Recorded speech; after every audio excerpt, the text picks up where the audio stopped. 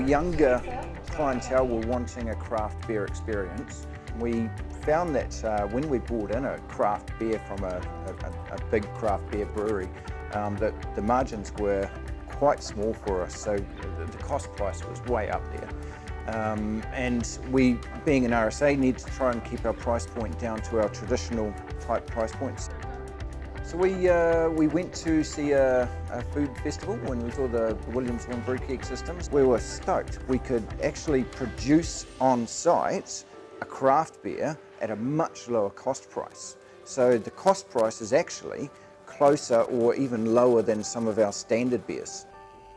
The process of brewing the Williams WarnKits beer is actually really simple. The instructions that are provided are well thought out, easy to follow, and found them really simple to make.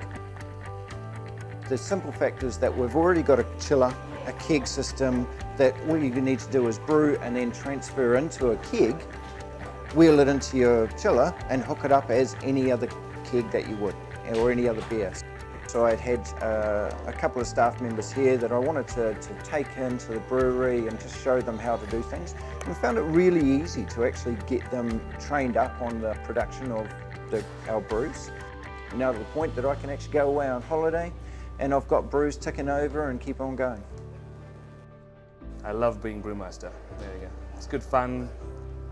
As a barman, being able to say that you make your own beers and then sell them to your customers is a great role. And actually speak about how you've made it, what you've done to it, the notes, flavors, tastings, the whole shebang. Makes life a lot easier for selling. We really feel that we've been able to create a brand here that has gained a real great loyalty. Um, and we've, we've targeted it being an RSA. It's got an RSA or military feel. So we've gone from uh, our light beer, which we call the Cadet. It's a 2.5 Pilsner um, with a little bit of hop and a really good flavour and it's got a, a really good following. Um, we step up that to the General, which is an APA at 4.5%. And then we've gone even further, we've called um, being an IPA, we've gone for the like slightly quirky Sergeant Major. So we've found the opportunity that we've been able to take up with the WilliamsWarn setup is that we've been able to target a younger clientele um, and give them the product that they really want. Uh, we've been able to maintain our historical price point but also keep our GP because we're making it ourselves.